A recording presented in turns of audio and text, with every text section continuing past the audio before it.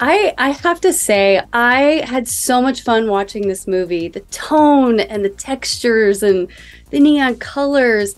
It was so unhinged, but in the sweet. Thank you. Thanks so much. yes, I I found myself just absolutely falling for the characters. And I truly loved getting a monster movie, a Frankenstein movie, but kind of from the female perspective. So I'm going to start with you, Diablo, this time and, and ask you just about creating these characters in this story and what the difference was for you when you decided to to to make this. Um, so this was uh, something that I was really passionate about from the get-go. I was really excited about this idea because for years I had entertained this concept of um, a living girl and a dead boy falling in love. And I was never really sure when I was going to do it. And the pandemic hit. Obviously, the world ground to a halt, and I was just sort of sitting at home with my kids. And I thought, you know, it would be a great escape from this. Like, I'm going to write that zombie romantic comedy. And so I started writing this, and um, just being in the world was such a, a fun escape.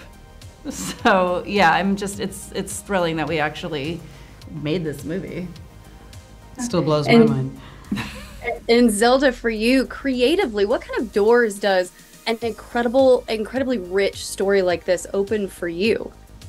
I mean, especially when you have something on the page that's already a period piece, but it has fantastic elements. I mean, it immediately opens up a lot of wonderful things for production design, for cinematography, for costume. I mean, even Megan and I were picking through some of Lisa's outfits are actually our costume designer's outfits from when she was Lisa's age.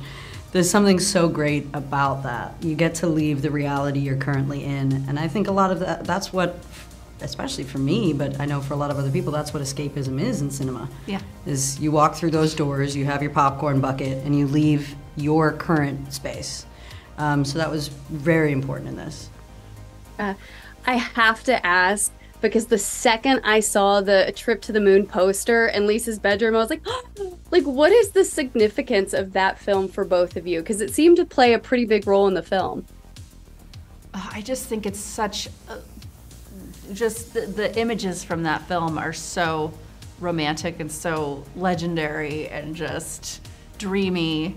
And for me, that's just the, the essence of um, of kind of uh, fantasy romance, I guess, is that that little movie.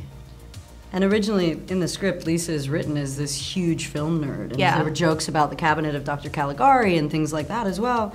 And it allowed me to explore the idea of what she dreams about and her fantasy. Um, and that, you know, that film was the beginning of cinema exploring stuff that we had not done as humans even.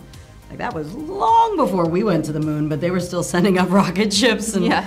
so I, I think it was a a wonderful way to pay homage to where fantasy came from, where science fiction came from, and cinema in general. But I liked thinking that that's what Lisa would dream like.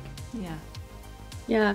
And I have to wrap here, but I do want to say real quick I so loved how Lisa's character got bigger and bigger and just seemed to fill more space as the story went. And I wish we had time to talk about that because I absolutely adored it.